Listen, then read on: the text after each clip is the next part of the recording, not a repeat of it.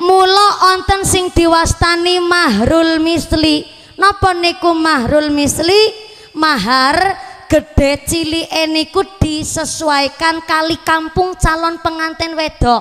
Contoh non saya Pak Lurah.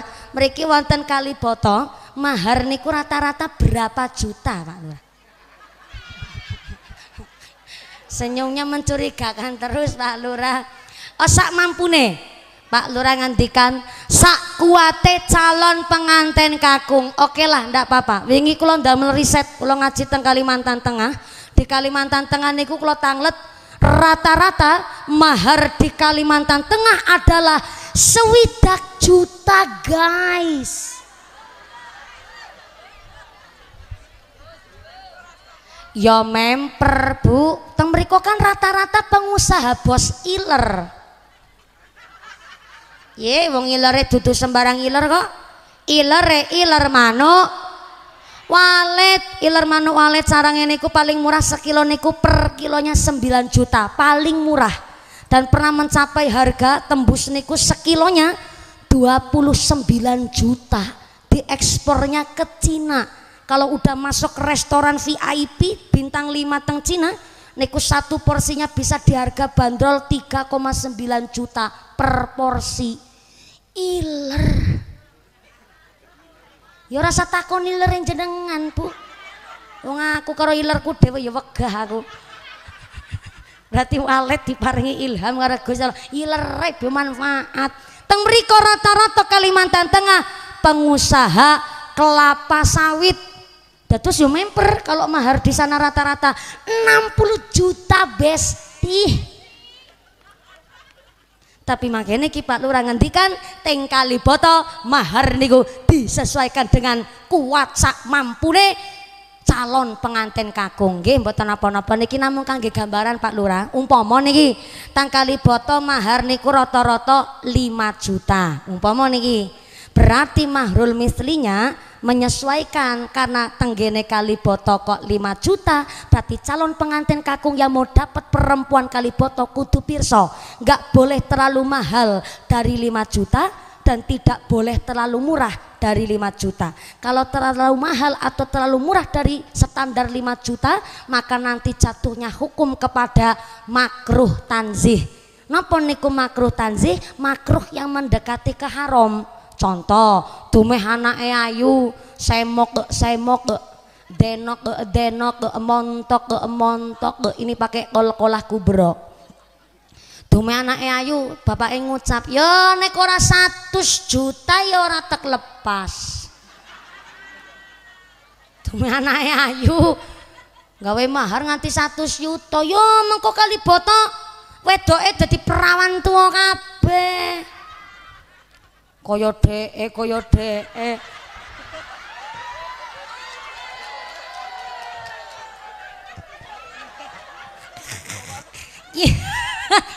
nembe ana ki pengajian jamaah ngarani bunya ini prawan tua ki nembe ana ya ki? Tak tak we ngerti ya bu ya.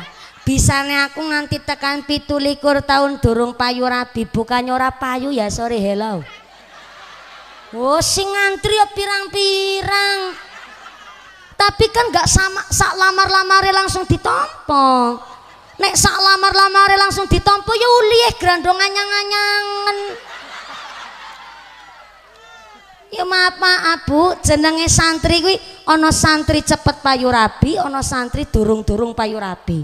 Sing santri cepet payu rabi niku mergo manut karo bunyai karo Mbah Kiai biasa nenek lulus soko pesantren jodohnya mesti yo alumni pesantren meriku Ning sing durung payu rabi bukan orang manut oh. Manute ngeluwi sing manut.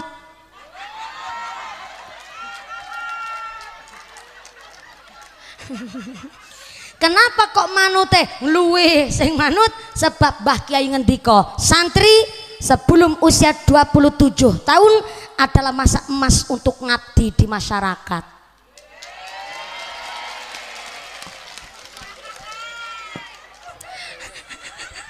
Jadi sak pergi kula dereng payu rabi belum bukan karena ora payu tapi belum ada laki-laki yang beruntung mendapatkan saya.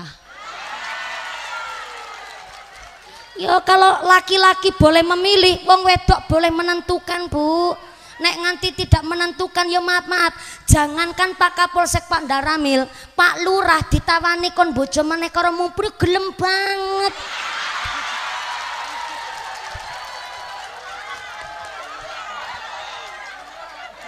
Ya mula kudu milih ngono kuwi sebabe napa? Sak ganteng-gantenge lurah Kalibata, nun sewu Bu Lurah tenang saja ya. Ya tenang saja Bu Lurah. Sak ganteng-gantenge lurah Kalibata, aku nggak mau jadi yang kedua ya. Sorry hello. Mula nopo ada mahrul misli mahar sing gede cilik niku dipengaruhi sebab tenggene calon pengantin estri niku biasane standare pinten umpama mangkene iki 5 juta berarti yang nganten lanang jangan sampai ngasih mahar terlalu mahal dari 5 juta. Tetap nanti jatuhnya makruh tanzih makruh yang mendekati ke haram. Onten malih terlalu murah dari 5 juta. Contoh maaf maaf nih nikah niku hanya cincin terbuat dari besi sah nikahnya. Tapi kurang syarat maharnya. Wingi teng Jawa Timur seorang pengantin perempuan hanya menerima mahar sebuah linggis tetap sah nikahnya. Nikahnya sah tapi kurang syarat mahar eh utanggane dong rasani iya Allah. Berarti esok malam pertama yo dilinggis ya.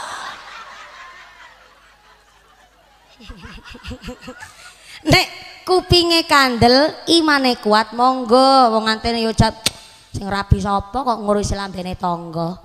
Kalau imannya kuat monggo, cuma makruh tanzihnya. Kalau terlalu murah hanya sebuah linggis, khawatirnya ngesuk ketika berumah tangga terbentur masalah mesti sing wedok ngodek-kodek. Wong wedok nek modele jengkel kan seneng ngungkit-ngungkit. Ngudal-ngudal nganti modal-modal Pak dadi bojone aku rasa kaken pola.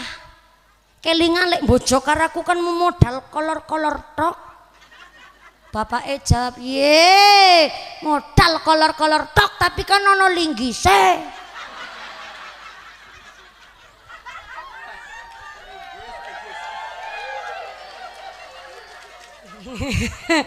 Mulane ku pentinge wong wedok pun kudu ngaji, titip noteng pondok pesantren, tetep lare didasari kali bab agama. Sepinter-pintere wong wedok, sesugih-sugih wong wedok, bahkan gajinya lebih besar ketimbang suami, tapi kalau ngerti agama nggak mungkin menyepelekan suaminya.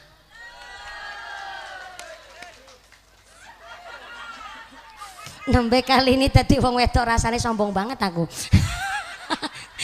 Sebab wong ngaji karo orang ngaji kuwi bet beda lare kok ngaji ngerti ilmu ulama tahu siasatul mulki melek dengan keadaan zaman. Karena kalau santri di pesantren nggak mau melek dengan keadaan zaman siap-siap.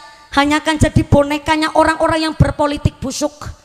Sakondure hanya ngerti politik tapi nggak mau ngerti agama, nggak mau dasar ngaji, maka persiaplah. Hanya akan menciptakan gerandong-gerandong di masa depan. Napa niku gerandong-gerandong di masa depan? Jembatan dikrikiti, semen di blok, wesi dileg, nanti kadal ya diuntal.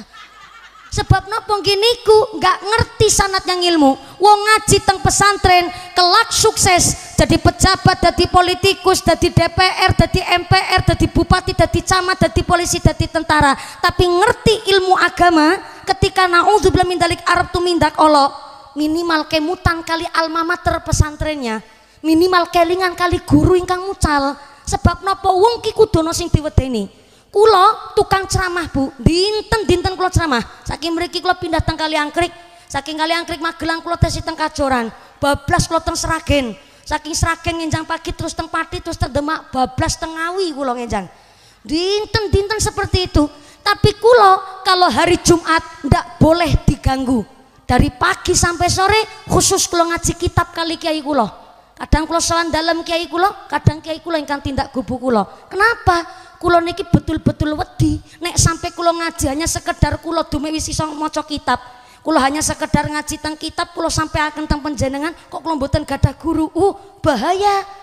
Tetep kula niki nggone ngangsu niku saka ngilmu sing jero saking sumur-sumur yang betul-betul berkompeten. Lo nek dinten Jumat lo mboten menerima tamu sama sekali. Ono tamu tebiana ngapunten sangat mboten kami layani. Sebab nopo dinten Jumat pagi sampai sore khusus kula ngaji kitab. Sebab nopo gini ku wau wong ki kudu sing diwedeni nek wong kok ora ana sing diwedeni uh bahaya Mloke napa kelak cita-cita putane panjenengan dados pejabat dadi bupati dadi DPR niku setiap langkah minimal kelingan kali guru ingkang mucal sebab pun gadang ilmu tapi kelingan kali gurune arep tumindak Allah mboten sios. Soale napa? Mbok nganti ngisin-ngisin ke alma mater pesantrennya. Ngisin-ngisin ke karo guru ingkang mucal. Mula wis belajar ilmu ulama, yang kedua siasatul mulki, sing paling penting santri telah belajar hikmatul hukama. Saya ulang, saya ulang. Hikmatul hukama, ngilmu priatin yang bukan santri ndak dapat pendidikan hikmatul hukama. Sebab nopo? Santri teng pesantren mpun biosori priatin Priatine puasa il bilaru poso nyerowot ayam mulbit poso Senin Kemis kecil. Kalau gubernur NTT kemarin sempat viral mewajibkan anak-anak siswa-siswinya berangkat sekolah jam 5 subuh orang sah takon karo santri. Jangankan jam 5 subuh, setengah telu isuk wis podo melek sholat tahajud. Durung melek disiram banyu saember karo pengurus keamanan setengah telu wis melek salat tahajud lanjut tadarus Quran sampai jam subuh. Lebar subuh kari sorogan. What is a sorogan? Setoran apalan? Bayangkan punya apa durung kumpul si geliyengan ini iki. Kunapalan niki otak langsung ken connect. Maka santri niku masya Allah wis belajar ngilmu prihatin luar biasa. Maka niki wau kula ngucap teng awal tentang alimul muta'alim orang tua dikasih tenggang waktu dua bulan untuk memikirkan kirane anak mampu nopo mboten teng pesantren? Kira-kira tiang sepeh ikhlas nopo dereng? Soalnya nopo kulum biar awal-awal turun nang pesantren juga kaget ya Allah. Jebule kayak kira sana tadi santri kayak wagrame dina-dina dipakani jajagan kangkung. Ya Allah ki santri apa bebek? Sego sebaki digrumut bocah lima ya Allah bareng sambangan wong tua rata-rata kabet kagetin apa kok waktu sambangan? Bocah ayu-ayu mangketeng pesantren. Kok isinya malah begudik korengen de cangkrangan binti cataken you know? Apa maning wis nganti kaku ngenten iki? Wah ke luar biasa. Bayangkan bayangkan. Awake kebegudik korenge beguatele luar biasa kemerunyek lah kok kon apalan setoran? Niku kan membagi fokus pak Iwis ya ngimbangi gatel ono setoran apalan. Kurang turu kurang istirahat. Mula kolombien Mbah Khudori pondok pesantren Tegal Rejo Api Magelang niku ketika onten cek saking ibu PKK tenggene Kabupaten Magelang niku sampai ngendikan kali santrine aduh sing ganteng-ganteng nganggo sarung BHS kabeh saiki kangkunge simpen dhisik. Centongan genjer simpen dhisik. Tuku daging sapi. Onten dawuh napa ya kok niki tumbas daging sapi dadakan? Arep ana dicek karo ibu PKK kabupaten. Ini bukan sedang ngapusi diri sendiri tidak. Tapi mbok nganti wong ki kaget dengan program pendidikan santri. Kenapa kok sepriatin itu? Maaf. Nek wis biasa baju di laundry. Maaf, kula mboten nonton niat membandingkan pondok pesantren modern dan salaf. Tapi ngapunten, kalau sudah kebiasaan di pondok pesantren, bajunya di laundry, makannya dicatah. Yo kapan ilmu niku badai manfaat? Kepripun anak badai ngertos rekasane wong tanggane modal liputan teng pesantren. Nek wis kebiasaan uripe enak, yo ngilmune niku mboten merasuk teng sajroning ati. Mula nek kepingin sukses yo kudu prihatin. Kepingin sukses ora gelem prihatin diwastani junono funono. Wong edan kuwi werna-werna. Pengin dadi wali ora gelem ngaji, junono funono edan ingin jadi wong pinter gak gelem sekolah. Junono funono edan. Pengen dadi wong sugih ra gelem kerja. Junono funono edan.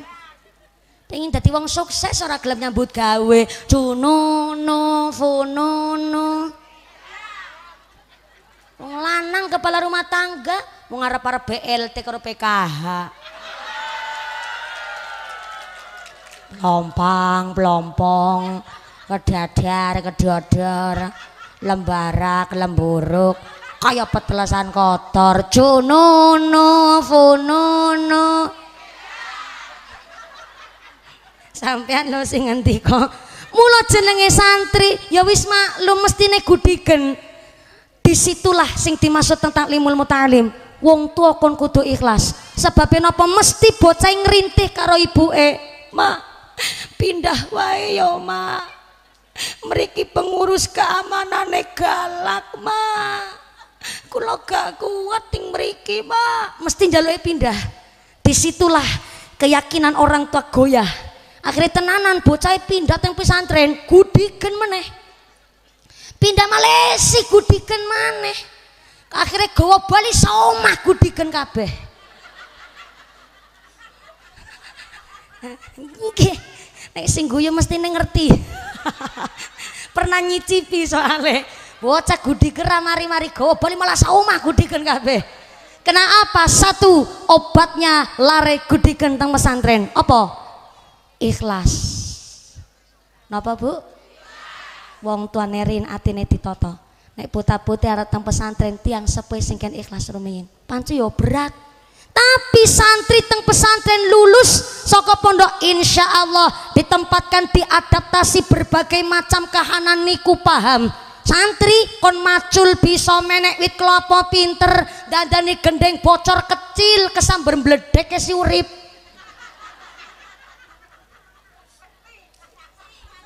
Kenapa kok santri sekti? Sekti berkah ilmune Pak Kiai kok sembur dhisik karo dongane Mbak Kiai. Empus tabarukan. Maka santri, maaf, lulus saka pesantren lanjut dagang, ngerti ilmu berniaga, langsung bojo ngerti kurutul uyun pamali fatul izar? Ngecil jeneng santri. Lebar lulus langsung bojo oke nyalon kepala desa pantes nyalon DPR pantes lanjut kuliah pantes santri lulus ke pesantren. Masuk teng akademi kepolisian justru santri khotam enan jus dipun fasilitasi masuk pesantren eh pesantren. Masuk tang kepolisian gratis tanpa syarat. Ra percaya tanglet karo Pak polisi malah kula curiga kali Pak Kapolsek. Bener jangan-jangan iso dadi polisi balok dua malah khotam 6 jus Bu dados difasilitasi. Santri. Mula namanya santri adalah manusia sukses di masa depan. Sebab nopo? Empun punya tiga landasan ilmu. Maka alhamdulillah tintan meniku acara syawal halal bihalal plus acara khutmil Quran sekaligus ngedidik putra putri kula panjang sedoyo ya Allah. Kaget jam rolas lebih pitung menit ya Mbok ya ki ana sing elingno kula. Empun wayahe salat zuhur ngono kuwi, Bu. Dume aku lali kok ora ana sing elingno belas. Malah kebeneran sampean. Alhamdulillah hari ini kita semua terkumpul dana sebesar sodakoh infak musola al hidayah menikah 15 juta 950 ribu 300 perak rupiah. Kula ulang kula ulang kula ulang. 15 juta 950 ribu 300 perak rupiah. Alhamdulillah. Niki termasuk kata? Kata Alhamdulillah pantesan lo niki nek tundang pengajian nggih spesialis tuh kan niki sedekah Bu Mboten-mboten guyonan. Niki karena memang dasarnya piyayi-piyayi kali botong bener adalah piyayi ingkang ahli sedekah, senang damel amal jariah. Pramila niki terkumpul 15 juta 950 ribu 300 perak rupiah adalah sebagai saksi ngenjang antuke mawat sirotol mustaqim karbatil khatif bagai kilat menyambar lep ber langsung tekan sorga Gusti Allah Allahumma Ada informasi dari panitia, pengumuman pengumuman dari akhirat. Barang siapa berangkat ngaji belum dipimpin doa gugupan Bali maka suaminya nikah lagi. Ampun kontur ampun cengerumin awit samangke doa badhe dipun imami kalian akhinal kiram Romo Kiai Haji kalian akhinal kiram Romo Kiai Ibnu Hajar. Kangge nasa takdim kita santri kalian para masyayikh wonten ing tlatah Kalibata menika. Ingkang kaping sepindah para masyayikh para Romo Kiai para bapak Kiai matur sembah suwun hadir rawuhipun wonten ing tlatah menika. Kersa membimbing kami warga masyarakat Kalibata matur sembah suwun Pak Kapolsek Pak Daramil Bapak Kepala Desa telah mendukung kami dan mensupport kami. Wasun kanthi hikmat mawon tesi lungguh wonten menika majelis. Sumangga doatipun imami kalian akhinal kiram Romo Kiai Ibnu Hajar belajar. Saking kawula mudah-mudahan pengawasan dinten menika andadosaken kita dipun tetepaken imane dipun tetepaken islame dipun tambahi ihsane. Pun paringi sehat panjang yuswa. Yuswa ingkang manfaat ingkang barokah dijauhkan dari wabah musibah. Pungkasan yuswa kanthi husnul khatimah. Amin Allahumma doatipun imam kalian akhinal kiram Romo Ki Haji Ibnu Hajar. Saking kalau setelepatnya ki papunten usiku wa nafsi wassalamualaikum warahmatullahi wabarakatuh. Doatipun imam Romo Ki Ibnu Hajar. Sallu ala Nabi Muhammad. Allahumma salli ala Muhammad. Taqabbalallahu minkum